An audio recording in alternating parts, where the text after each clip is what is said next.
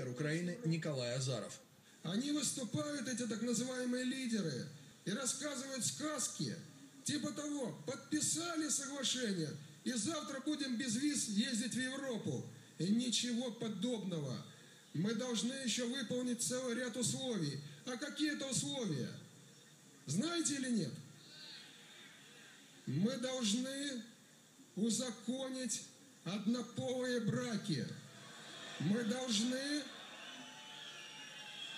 принять, принять закон о равенстве сексуальных меньшин.